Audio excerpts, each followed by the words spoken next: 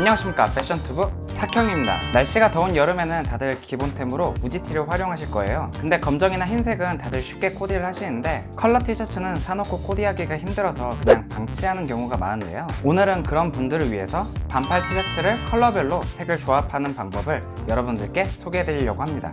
오늘 영상을 통해서 보다 다양한 배색 방법을 알아가시면 좋을 것 같아요. 이번 컨텐츠는 글로즈 스튜디오의 19 SS essential overfit 티셔츠랑 함께 하게 됐고요.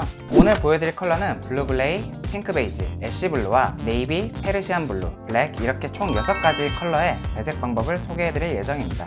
간단하게 글로즈 스튜디오에 대해서 설명을 드리자면 지난번 영상에서도 말씀드렸다시피 슬랙스를 정말 잘 뽑아내는 브랜드고요. 이렇게 매달 20% 할인 쿠폰을 뿌리고 있으니까 꼭 참고하셔서 할인받아서 구매하세요.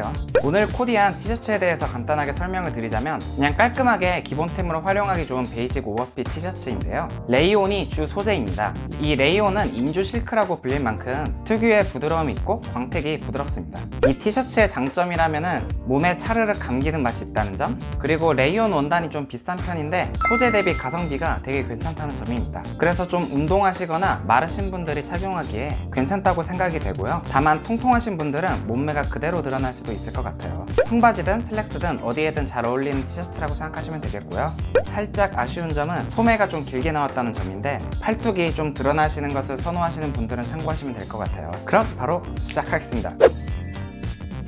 첫 번째 팁은 검정 티셔츠를 활용하는 방법입니다. 검정 티는 많은 분들이 즐겨 입고 남자들이라면 가장 무난하게 활용할 수 있는 컬러인데요. 검정 티셔츠를 입었을 때는 신발과 벨트도 검정색으로 맞춰주시면 어떤 바지를 매치하더라도 잘 어울리는 기본 코디 구성을 완성할 수 있겠습니다. 그냥 검티 여러 장 사놓고 바지만 돌려가면서 입으면 거의 스티브 잡스급 signature look이 될 수도 있어요. 첫 번째 코디는 샌들과 벨트, 가방을 모두 검은색으로 통일을 해줬습니다. 허리선이 높이 있는 semi wide 진을 매치해서 다리가 길어 보이려고 노력했습니다. 두 번째 코디는 바지 컬러만 바꿔서 조합을 했는데요. 검정 티, 신발, 벨트만 있어도 진짜 돌려먹기 오지게 할 수 있는 조합이에요. 여기다가 검은색과 조합이 좋은 실버 액세서리를 포인트로 매치해줬습니다. 두 번째는 컬러 대비를 활용하는 방법입니다. 이 경우는 두 색을 대비시켜줬을 때 그 차이가 도드라져서 구분되는 경우인데요. 가장 유명한 색 대비로는 보색 대비가 있죠. 어제 키장남 컨텐츠에서도 다뤘었지만 상의를 하의 속에 넣어서 연출했을 때 색 대비가 좀 더 강렬하면 다리가 더 길어 보이는 효과가 있다고 했었는데요. 오늘은 navy와 베이지, gray와 navy, 베이지와 카키 이렇게 가장 유명한 컬러 대비를 소개해 볼게요. 먼저 베이지와 navy는 소극적 보색 효과로도 불리우는 색인데요. 스마트하고 좀 더 young한 느낌이 있어서 교복에도 자주 보이는 색 조합입니다. 다리가 길어 보이기 위해서 10부 semi wide 슬랙스를 활용해 봤는데요. 베이지 navy는 컬러 대비가 분명해서 상체와 하체의 구분이 명확해 보이죠? 그래서 상의를 넣어서 연출했습니다. 다음으로는 gray와 navy인데요. 이 두 색 모두 차가운 성질이 있어 도시적이고 세련된 느낌을 연출할 수가 있답니다. 이번 코디는 깔끔한 9부 tapered 슬랙스를 활용해 봤고요. 사실 여름에는 로퍼와 시계만 잘 활용해도 깔끔하고 세련된 느낌을 낼 수 있겠어요. 마지막으로는 베이지와 카키입니다.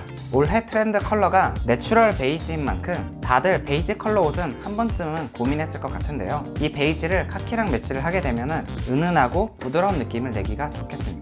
이번 코디는 fatigue 팬츠를 매치해서 아메카지 룩으로 연출을 해봤는데요. 베이지와 tone on tone으로 어울리는 반다나를 활용해서 포인트를 줬습니다. 세 번째는 tone on tone을 활용하는 방법입니다.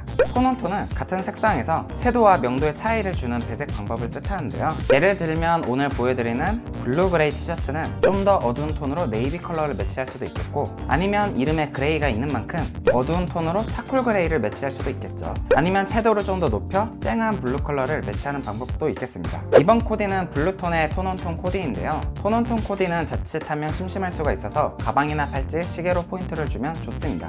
오랜만에 학생 느낌으로 messenger bag을 착용해봤습니다. 네 번째는 black or white 바지를 활용하는 방법입니다. 첫 번째 팁이었던 검정 티셔츠를 활용하는 방법만큼이나 가장 활용도가 높은 방법인데요. 아까는 검은 티에 바지를 돌려 입기를 했다면 이번에는 티셔츠를 돌려 입는 방법이에요. 검은색 바지가 괜히 기본템이 아니겠습니다. 첫 번째 코디는 같은 브랜드의 semi wide 슬랙스를 활용해봤습니다. 깔끔한 minimal look 스타일로 연출을 해봤어요. 10부 바지를 입을 때 신발도 바지랑 깔맞춤 해주면 다리가 한층 길어 보이는 효과가 있답니다. 두 번째 코디는 백바지를 활용해봤습니다. 사실 백바지는 남자들이 도전하기에 부담스러운 아이템인데요. 저도 긴 바지는 부담스럽지만 반바지는 부담이 덜하다고 생각해요.